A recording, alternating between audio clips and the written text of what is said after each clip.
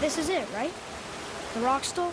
Aye, lad. The Council of Valkyries. The Valkyries are of Valhalla, are they not? Glad to see you're paying attention, brother.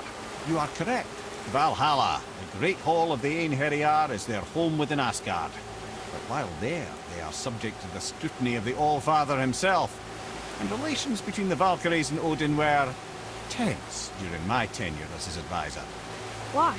Well, that's an even longer story, lad. For now, why don't we look around for some clues?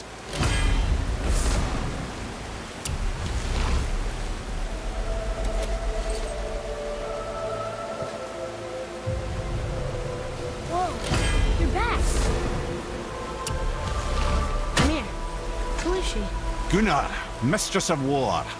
After any conflict, big or small, she would be first on the scene, sussing out the worthy spirits for a free trip to Valhalla. A gruesome task, she took great pride in it. Any conflict. Impossible. It's true. She had help from her sisters, of course, but Gunnr was always first to arrive. Her judgment of the fallen was unparalleled, and an invaluable resource to Odin. She was one of his favourites.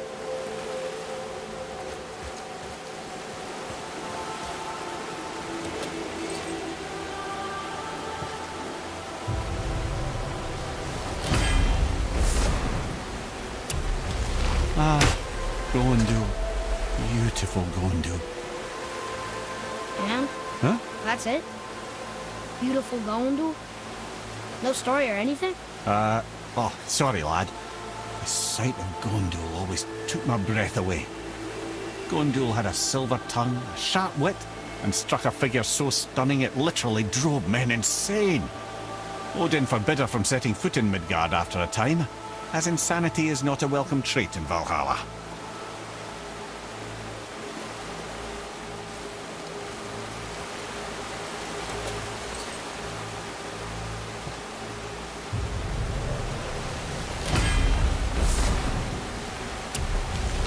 This is none other than Geirdriful, the Master of Arms in Valhalla, responsible for arming and training Odin's Einherjar.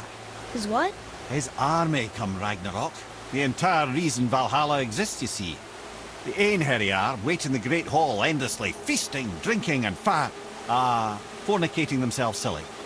Once Ragnarok begins, Odin calls them into service to fight on his behalf. Geirdriful had her hands full training that lot.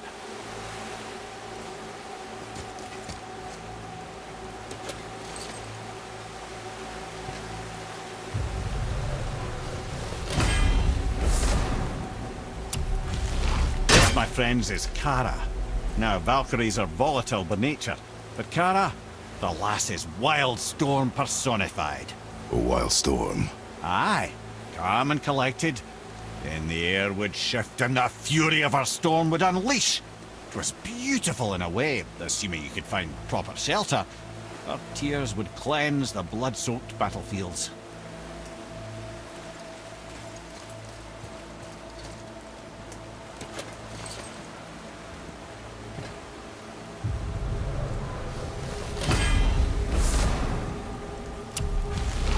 This is Rota, a chooser of the slain.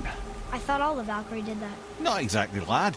Although that is what they're most famous for, and by far their greatest responsibility. You've seen what happens to the dead without the judgment of the Valkyries. Hellwalkers. That's right. Rota, Gunnr, Skuld. Without them to clean up the aftermath of battle, hell overflows with souls meant for Valhalla. A sorry state of affairs. Rota must be beside herself.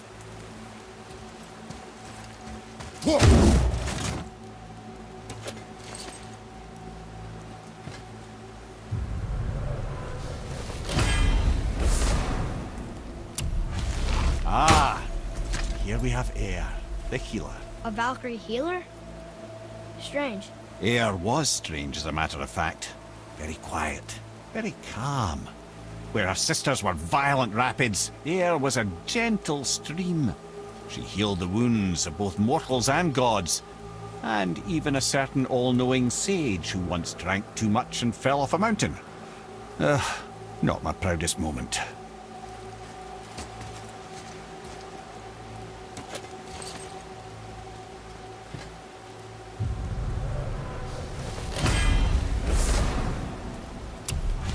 Well, well.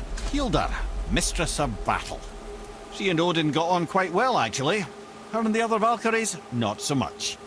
She would spend most of her time here in Midgard observing discord between the living, and sowing some up herself from time to time. She lived for conflict.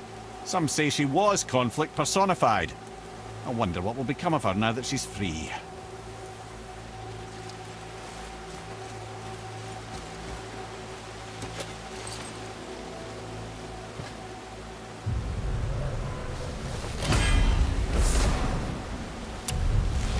Olrun, once the daughter of a powerful chieftain. She fell defending him during a Reaver attack.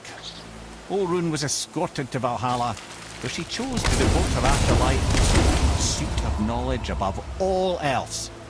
Quite unusual behaviour amongst the constant drinking and feasting of her fellow Valhallian denizens.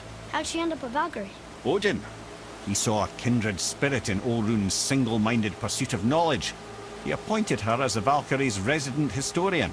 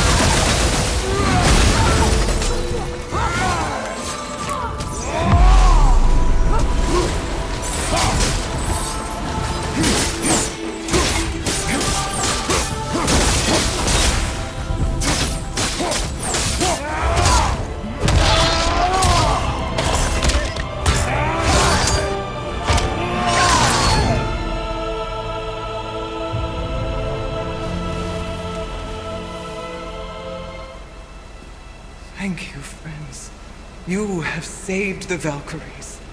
Sigrun, how did this happen? Mimir, i- is that you? You have been freed, but Freedom comes at a price, milady. you speak truly. Countless winters we served the Allfather. But only through his union to the Queen did we ever taste some measure of freedom. But aren't you the queen? There has only been one queen of the Valkyries, the goddess Freya. When Odin severed her wings, I served in her absence, but it wasn't enough for the Allfather.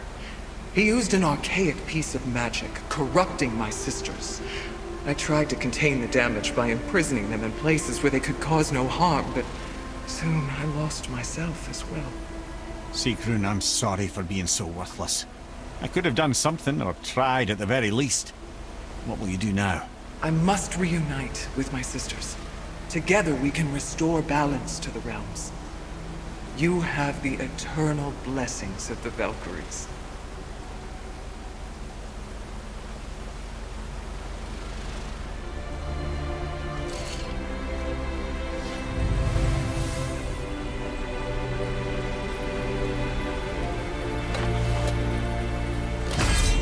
Well, we did it. I suppose. You don't sound very happy about it. It's difficult to be happy about anything when you're a reanimated head. I'm grateful we were able to set the Valkyries free. But so much of this could have been avoided. Only... You said it yourself, Ed. It does not matter anymore. The past is the past. Well, it's awfully cheerful coming from you. I am in a good mood. The dwarves will make use of this helm. Your dad's a wee bit single-minded, isn't he, lad? Definitely.